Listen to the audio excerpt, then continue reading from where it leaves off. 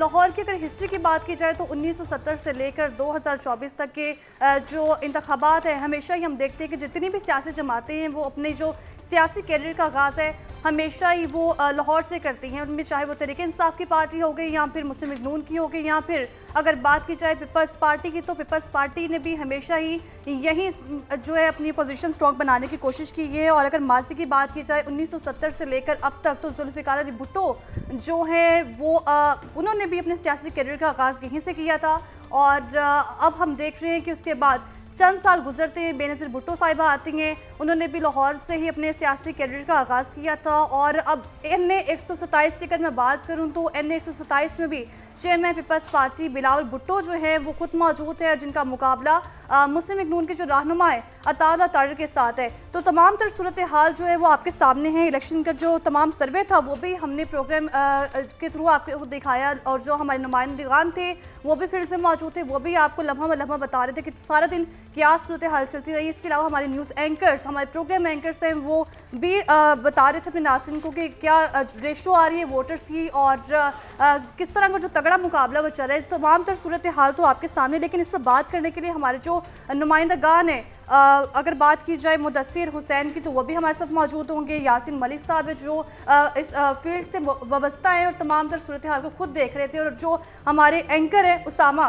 जो कि अभी अनाउंसमेंट भी कर रहे थे, बाकायदा बता रहे थे कि किस तरह के रिज़ल्ट आ रहे हैं, कौन आगे है, कौन पीछे है, कितनी तादाद जो है वो मुस्लिम इग्नून के पास है, वोटर्स की, और कितनी तादाद दीगर जमातों के पास है। सबसे पहले जो रुख है वो मैं कर लेती हूँ। यासिन मलिक साहब को, यासिन साहब चूँकि पीपल्स पार्टी को हम देख रहे हैं अजलों से देख रहे हैं कि 1970 से लेकर 2024 तक की अगर मैं बात करूँ तो हमेशा ही पीपल्स पार्टी ने अपने सियासी कैरियर का आगाज़ लाहौर से किया है। बिल्कुल ऐसा।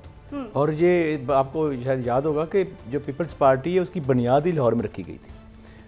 जहाँ डॉक्टर मुबशर हैं उनके घर में गुलबर्ग में उनकी बुनियाद रखी गई थी और पीपल्स पार्टी की। और पीपल्स पार्टी के लिए हमेशा से लाहौर बड़ी अहमियत काम रहा। अच्छा। और ये जहाँ इस वक्त बिलावल भुट्टो इलेक्शन लड़ रहे हैं बिल्कुल इसी हल्के से उनके नाना जुल्फ़र अली भुट्टो जो पीपल्स पार्टी के बानी भी हैं उन्होंने इलेक्शन लड़ा था और वो जीते थे। और उनकी वालदा जो है वो अंदरूनी शहर से लाहौर में इलेक्शन लड़ी थी और वो जीती थी।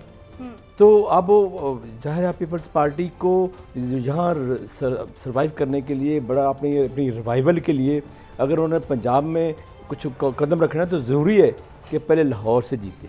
ऐसा ही यासिन ये बताइए क्या वाकई ऐसा है कि एन एक से बिलावल जो है पीपल्स पार्टी का रिवाइवल कर पाएँगे या सिर्फ़ ये एक नारा ही साबित होगा? नहीं मैं समझ उन्होंने बड़ी मेहनत की। कोई शक नहीं, अब जो लास्ट उन्होंने रैली निकाली पीपल्स पार्टी की, वो छः घंटों पर महीद थी और पूरे हल्के पे वो पता चल रहा था कि बहुत बड़ी रैली गुजर रही है। तो अभी इलेक्शन चल रहा है प्रोसेस चल रहा है, देखते हैं, लेकिन उन्होंने मेहनत इतनी ज़्यादा की है और उस पर बड़ा वर्क किया है और सिंध से बड़ी बड़ी अहम शख्सियात, शैला रजा, शेरी रमान शर्जील मेमन बड़ी और दीगर अहम शख्सियात लाहौर में डेरे डाले यासिन साहब चूँकि आप इसी बीट से वाबस्ता हैं अगर बात की जाए पीपल्स पार्टी की चेयरमैन बिलावल भुट्टो की उनका मुकाबला एक रहनुमा से है। अताला तार के साथ जो कि पहली बार मैदान में उतरे हैं तो ये बड़ा टफ टाइम नहीं था दोनों के लिए एक चेयरमैन के साथ मुकाबला एक आम रहनुमा का जो कि अभी नए नए मैदान में उतरे हैं। नहीं वो अपनी जगह लेकिन चूँकि हम्म। ये नून लीग का गढ़ है इस वक्त लाहौर तो वो एक एक अलग चीज़ है। अभी अब जो पीपल्स पार्टी को अगर यहाँ उसकी रिवाइवल की जंग है तो वो देखिए उन्होंने लाहौर से बड़ी बहुत बड़ा फैसला किया। ये लाहौर से हम्म। पहले क्योंकि जनूबी पंजाब में तो उनकी अहमियत जो, जो पार्टी जो है ना वो काफ़ी बड़ी स्ट्रांग है।